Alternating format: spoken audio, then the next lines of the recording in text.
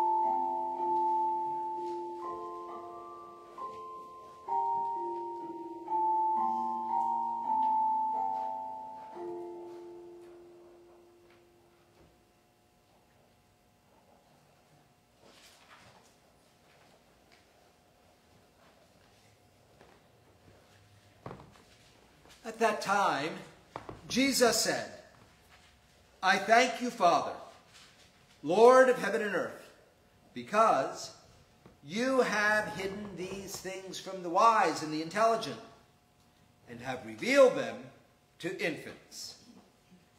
Yes, Father, for such was your gracious will. All things have been handed over to me by my Father, and no one knows the Son except the Father, and no one knows the Father except the Son, and anyone to whom the Son chooses to reveal him. Come to me, all you that are weary and carry heavy burdens, and I will give you rest. Take my yoke upon you and learn from me, for I am gentle and humble in heart, and you will find rest for your souls. For my yoke is easy, and my burden is light. Serve the risen Lord. Hallelujah.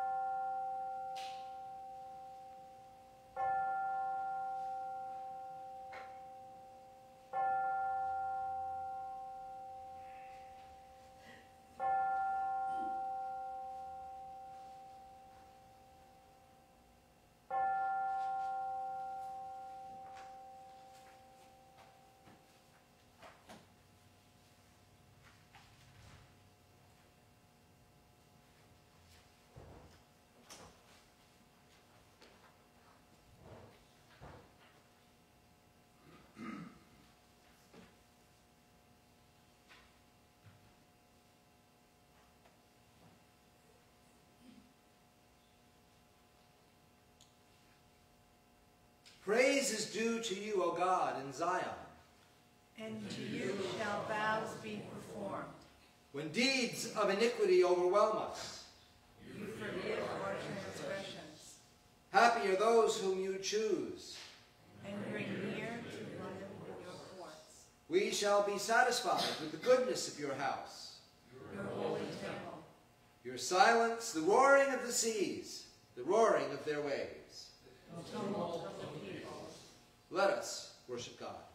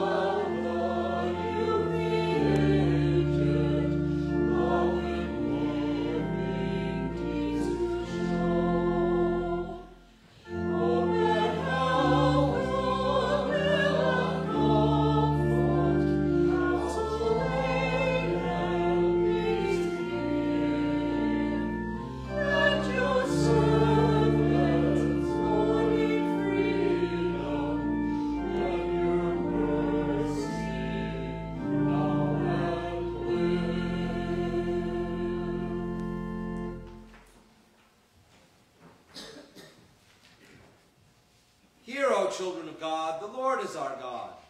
The Lord alone, You shall love the Lord your God with all your heart.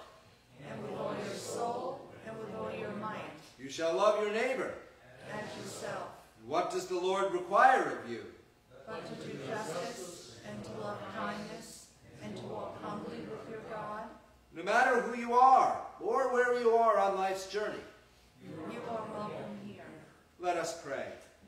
Ever faithful God, whose being is perfect in righteousness, reconcile us in your Son with the helpless and the needy, with those we would ignore or oppress, and with those we have called enemies.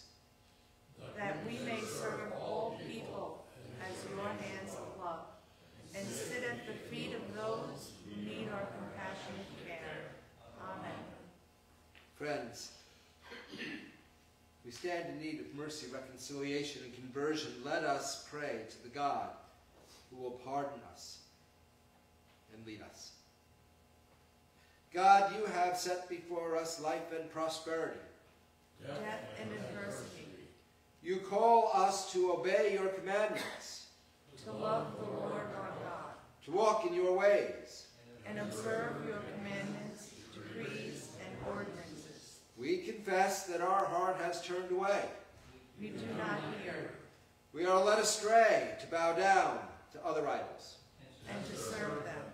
You have set before us life and death. blessings and curses, Lord, forgive us. Help us choose life. and hold fast to you. Let God's people search their hearts in silence.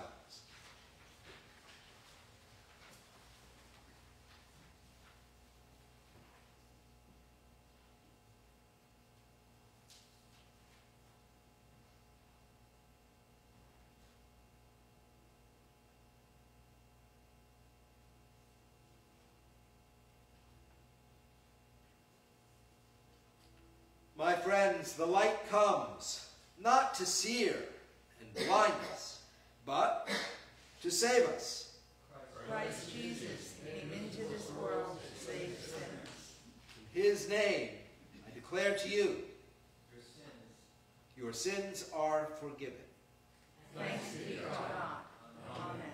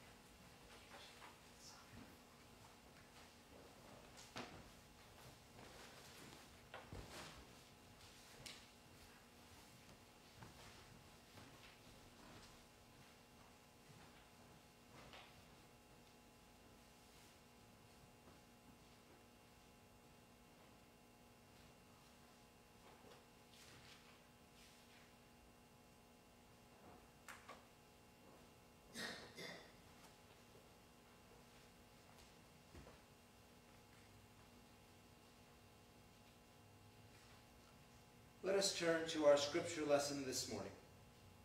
It's taken from the book of Romans, and it's a famous piece written by Paul where he struggles with his experience of not being able to live the way he wants to live, the experience of sin within him, and the prayer that it's in Jesus Christ that he will be saved. So, many times we do wonder what is the place of understanding sin in our lives and in the world. And this scripture begins to, is one of the places that we can begin to look to see what it means within us and perhaps what it means within our neighbor. We listen to Paul's letter to the Romans. I do not understand my own actions, for I do not do what I want. But I do the very thing I hate. Now, if I do what I do not want, I agree that the law is good. but in fact, it is no longer I that do it, But sin that dwells within me. for I know that nothing good dwells within me, That is, in my flesh.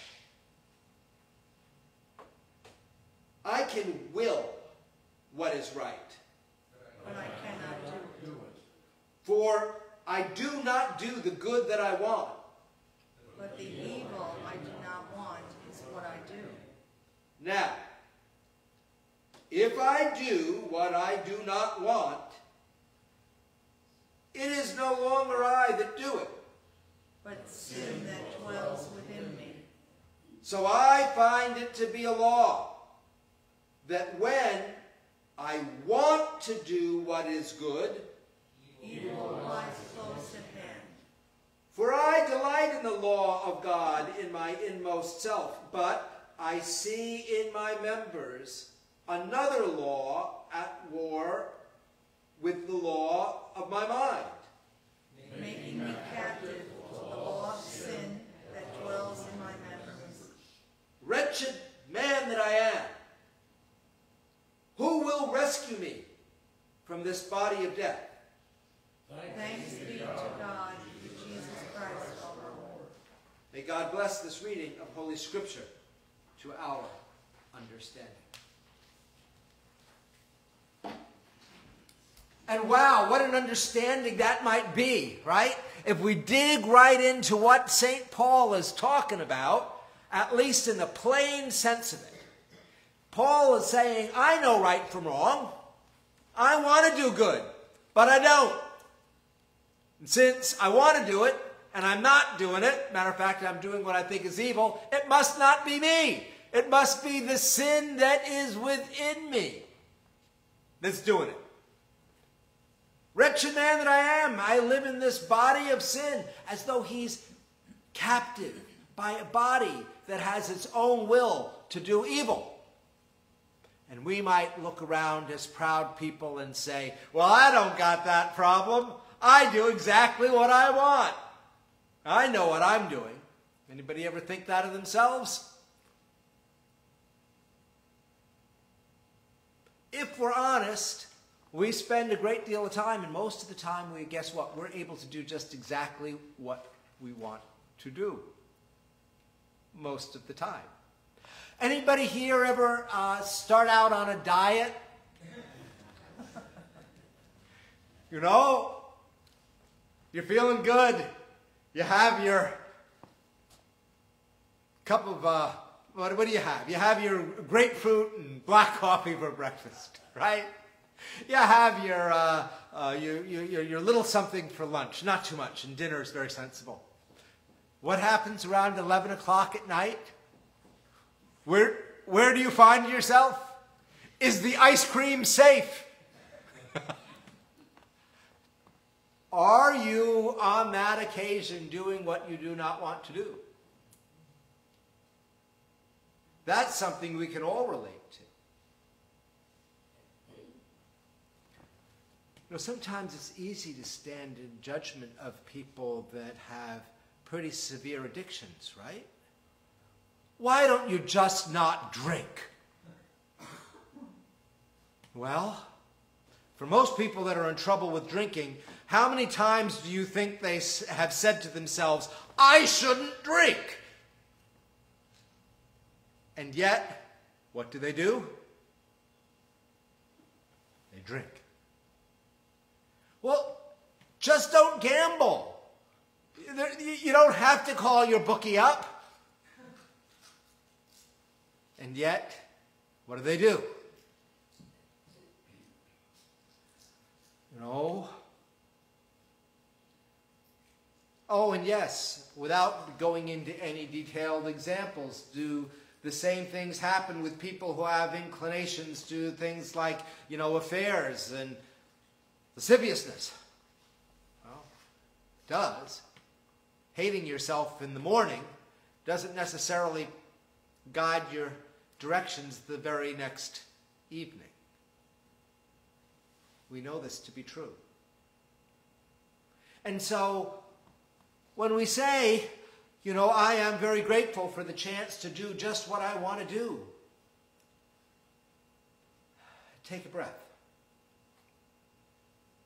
Now, is it always, are all your failures sin? No. I remember I showed up once to a professor. I went to his room. We, we in my seminary was very small and things were a little casual. And you know, I just told him I needed to. Uh, uh paper was due at class. I said I just need to go up and print it off. The last couple of things. Just just have it for dinner time. So I brought the paper to his rooms for dinner time, and I said, "I'm sorry, it's a B paper. It's not not my best work. Could have done better." And he said, "Well, I, I, you're probably right. It's a B paper. I, I expect you know what, what kind of work you did." but could you have done better? And I said, well, I mean, if I would have spent more time on it and, you know, maybe edited it more and spent an extra day and did this and this and, you know, had a few more citations, I'm, I'm sure I could have made it into an A paper. And he says, oh, yeah, yeah, I'm, I'm sure that had, had you done all of those things that, that you're saying, that it would have been an A paper, but could you have done all of those things? And he, he says, look, at I know what you're doing.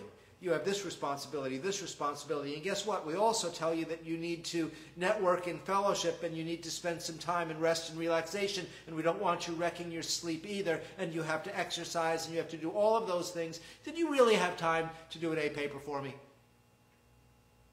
You. Said, I guess I didn't. And he said, no, I didn't think so either. A B will be fine. And he gave me a B on the paper. You know, exactly the grade I deserved, but without the feeling that I had been neglectful and not done what I ought to have done. Right? Given who I was, given the circumstances of my day, in a sense, his, that professor's kind words, name is Robert, Professor Robert Hayden, by the way, that professor's kind words rescued me from a little bit of self loathing for not having done as well as I ought to have done. He had some compassion on me and asked me to have compassion on myself and to be more realistic.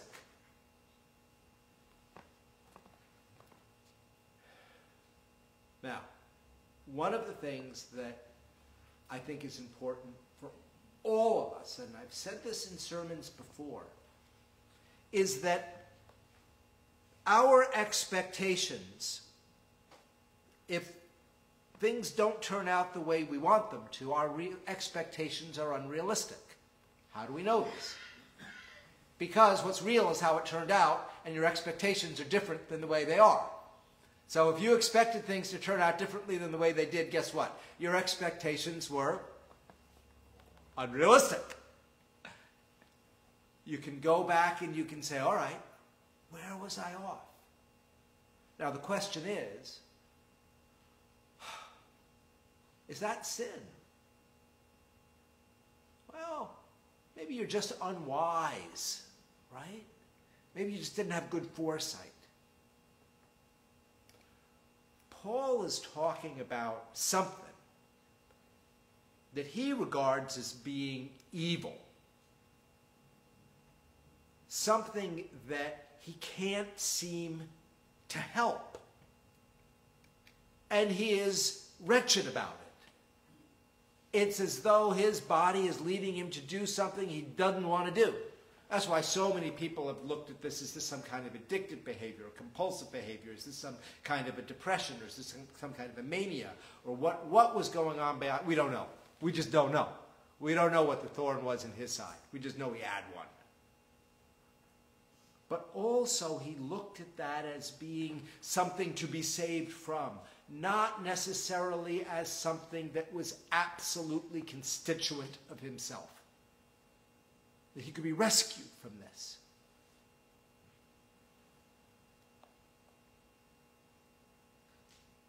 Has anybody here ever been in a class in elementary school where there was a substitute teacher? How about a substitute teacher that was not good at their job? Most aren't, by the way. It's probably why they're substitute teachers. But anyway, uh, not always, not always. Now, could you blame those kids for being bad? Because the kids are bad, right? Ah. Can you blame the kids for being bad? You could. I don't know what good it's going to do you. Because as soon as their regular teacher returns or the vice principal comes in to keep order, guess what happens? The kids behave, right? Things are orderly. What happened there? Those kids were rescued from the natural disorder that was in them. They're just being natural human kids. As soon as the usual authority is gone, they're gonna they're they're gonna test the limits that they can, and they're gonna have some fun doing bad things, right? You know, and making them and by the way, making themselves and everybody else miserable. Because we all remember those classrooms, as much as the disorder was, we hated it too, because it was chaotic and we didn't like it anyway. You know, we don't know how to run a classroom properly. We're kids, we're not supposed to. The person comes in and brings order to the situation, literally saves those kids from themselves. I would propose to you that if you had not had people that literally, through their good example, through creating good habits within you, through giving you a vision of what good, orderly life could possibly be in, for you, what ambition and living out your aspirations could be for you. If you didn't have anybody that gave that to you, I would propose that each one of you and me would be barbarians in our lives. It takes somebody pretty extraordinary Actually, it probably takes whole systems of things that are extraordinary to get us not to think about just what's going to happen today and what I need right now, but how to defer gratification for a week, or for a day, or for an hour, or for a year, or for five years. Or if you want to talk about somebody going to something elaborate like medical school or law school, seven years, eight years. How do we get people to do that? We're giving them a vision. Otherwise, by our own nature, we're barbarians. We don't naturally know how to treat each other well. But we are social creatures. So we are surrounded by a society and a culture that teaches us how to live. It saves us from ourselves. But even if we have all of that benefit, do sometimes do we still fall to selfishness and egotism? Please, besides me, anybody here fall to selfishness and egotism? No, okay. Well, thank you.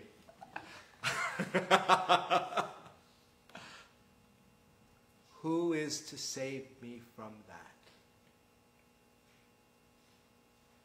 When we ask to be rescued, no. When Paul asks the Lord, who's going to rescue me? You look to the hills, it's the Lord that rescues you. First of all, it's to know that in our own selfishness and egotism, it's just who we are. Sorry, friends, we got it. It's a part of us. Now, will we pray to our God to be freed from its bad consequences and its hold on our lives? And will, be, will we be gentle with ourselves in our failings because we will fail. When we read in Scripture, what does Jesus come to do? You know, the light did not come into the world to sear and to blind. No. But to save, to show us good ways. The burden that Christ would put upon you. Is it heavy? What did Jesus say? My burden is light. My burden is light. If we are, in effect, struggling, you know, with heavy burdens, especially the burdens we want to place on other people, uh, you know, those burdens, especially those burdens. But if we are struggling under heavy burdens, we might want to say, is this what Christ would want for us? And then you might say, but Pastor, we want to be ambitious and we need to discipline ourselves. And if we don't go tough on ourselves, we won't get the good stuff done. Well, maybe. Anybody think like that from time to time? What if the good stuff can just as much be joyful? What if instead of it being you're operating out of a burden, you're operating out of a sense of opportunity, out of goodness, energized by the possibility that you get to do this? Instead of I have to do it, I get to do it. Well, that's an interior shift of mind, right? And we pray to be rescued from the harshness of judgment in the world, our own judgment and the judgment of others. We pray that following the ways of Jesus will lead us that way. And you might say, well, does that mean I have to give up my, uh, my ambitions and my aspirations? Well, maybe you should give up your unrealistic ones. How about that? You'll suffer a lot less. Pray for wisdom. Maybe some of your ambitions and aspirations are unrealistic. But maybe your ambitions and aspirations can lead you to joy. Is that a possibility you can pray for? Your God has a relationship with you. The Holy Spirit is leading you in good ways. The ways of Jesus are not to harm and burden you to the extent that you are, how can you put it? Where you're despondent, you're ready to give up, where you're injured or traumatized. That's not the ways of Jesus. And don't lead other people that way either. The ways of Jesus lead you into opportunity, fullness of life, and joy. So when we talk about Jesus rescuing us from sin, we recognize that we are, are fragile and flawed human beings. Starting with me, friends. Fragile and flawed.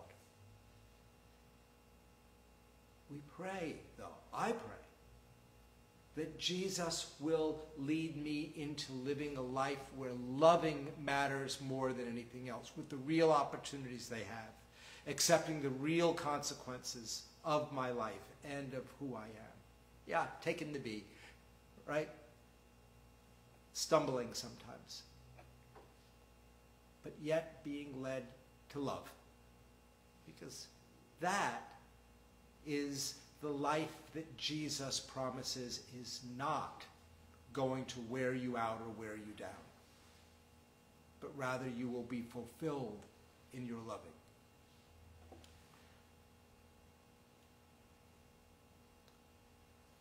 When I say this, I'm very much aware that people have to love others in hard circumstances. And I don't want to take anything away from that. Have we all known caregivers who, in hard times, their love costs them their time, their energy, years of their life, their focus, their attention. And is it hard?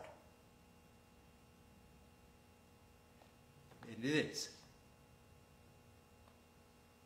And can we say, is that not also Christ's burden? And how is that burden light? And those are good questions. I would ask you then to pray for the grace to rejoice in the opportunities that you have, in the love that you show, in the love that can still be reciprocated, in the pride that you have in the care that you show for others, in the pride and the joy that you have in doing a job as well as you would want it done for you. Does it make it less hard? But in the midst of that devotion, there's the chance for joy.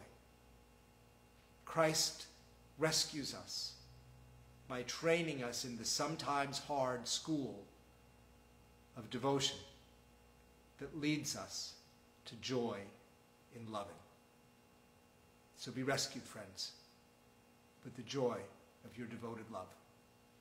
May God bless you and bless us all in reading the Holy Scripture this morning.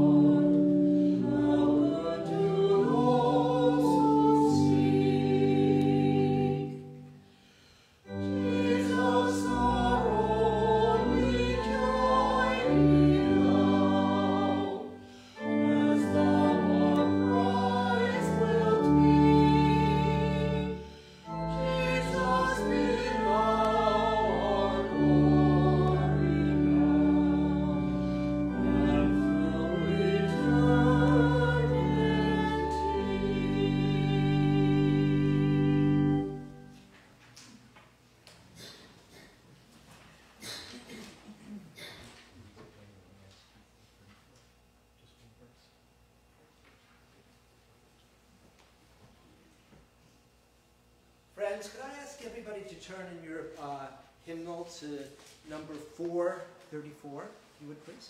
Red hymnal. Pastor, what number? 434.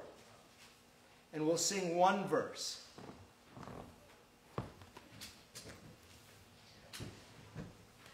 And uh, could I ask you to come and join us for a moment, please?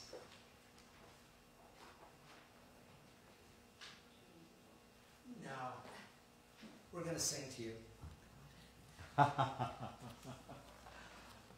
Friends, we sometimes it's hard to say goodbye to good friends. We remember Bob so wonderfully in our choir for so many years, and all the times you've come and visited with us. And we just love you so much. And we know in North Carolina with your family is the right place, but we're going to miss you anyway. Bless you. And so if we could sing this little song for you, I would like that very much. The first verse. 434.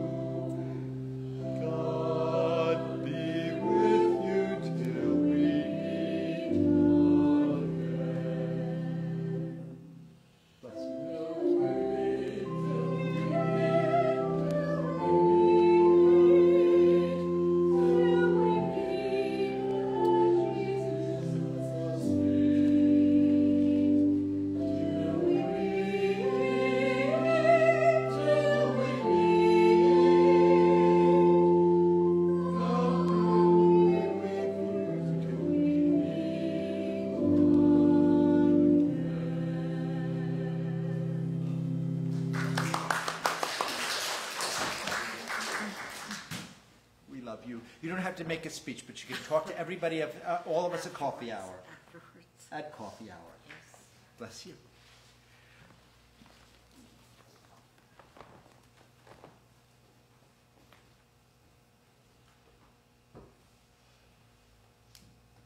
For Anna, with all of the transitions before her, we wish her all the mercies of God.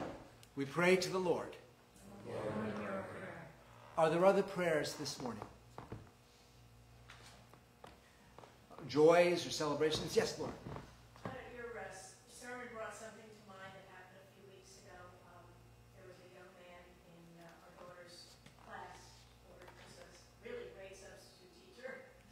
Um, But a young man, the last week school, jumped in front of a train.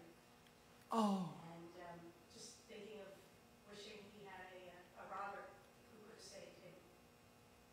Yes. That's so hard.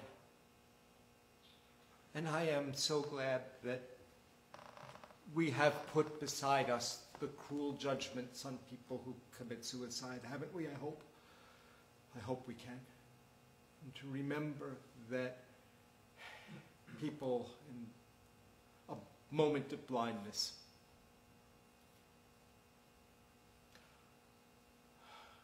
can act in a way that we can only trust God has mercy on them, right? And mercy on all of us who remain. So, for this young man, for his family, for all who love him, for all, for all the people who might not have done right by him, who feel badly now, that they may be inspired to change, but also for those who suffer from mental illness, from depression, from despair. We pray to the Lord. Are there other prayers this morning?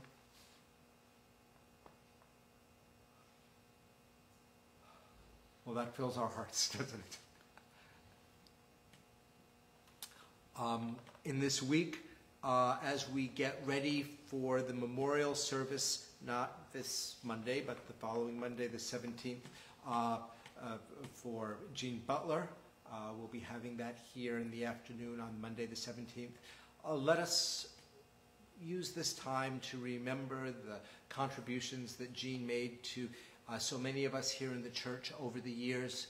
Uh, you know, her wisdom, uh, her wit, her devotion, uh, from time to time a bit acerbic, but mostly clear headed and loving, sometimes all at once. And a good example, fine role model in so many ways. Let's use this week to remember her, her ministry, and to profit by her example. So, for ourselves, as we prepare for Jean's memorial service, we pray to the Lord. Almighty God, you know the many cares that we bring before you. We're barraged each day in the media by so many cares in this world. We pray that you will inspire us to be good to the people we meet, to live justly, kindly, humbly. We pray that you will make us loving in our relations. We pray to the Lord. As, you as Paul advised us to do, we pray for all of those who are in authority over us. We pray for those in government. We pray for employers and other people in positions of authority. We pray for those who serve the public in important ways. We pray for our own service in the world. Almighty God, we pray that your kingdom may come and that you may teach us your ways. We pray to the Lord. For all of the prayers that are in our prayer list, for the prayers that are forming in our hearts and finding words, for the prayers that are still private or secret to us, for the prayers that we've promised others. We seek you now in this company of faith.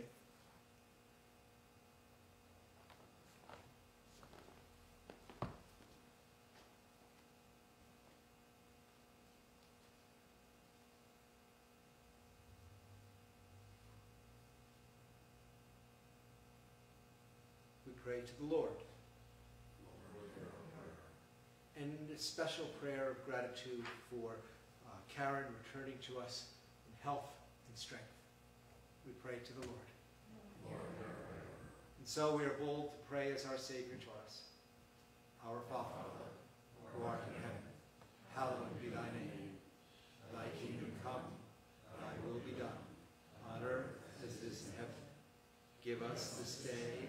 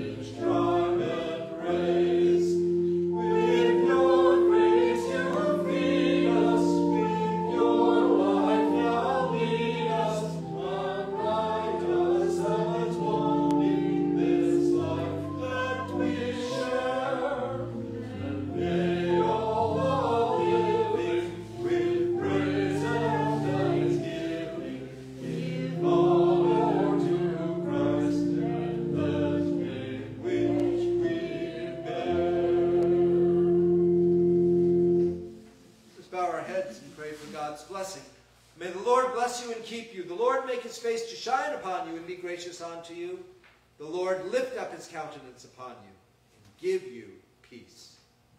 God's people say. We serve the risen Lord. Hallelujah.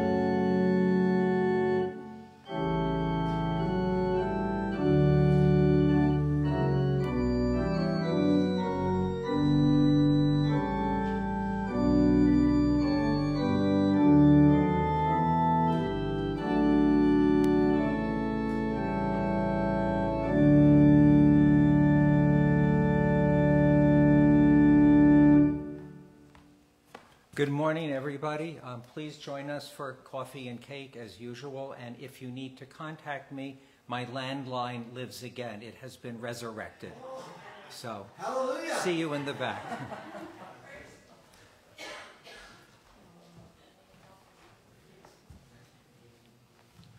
Well, I um, would you all let me know if you want the to to Bible study on Thursday night? Let me just let me know, okay? I'd be very much, very, very happy. But we do a Zoom Bible study, and and uh, so let let me know if you would. So you have my email, please let me know. And uh, because if there's something that you want to study, I'm very happy if I know how to either learn it or if I already know it, I'd be very happy to share it. So uh, we've been doing that on Thursday night Zoom at 7:30. We look forward to doing it this week as well. So uh, just wishing everyone well on this uh, muggy day, but we hope that the summer is good to uh, good to us as we enjoy maybe a little bit of relaxation and begin to dream and envision what our future may be like. So may God bless you all this morning and be with you.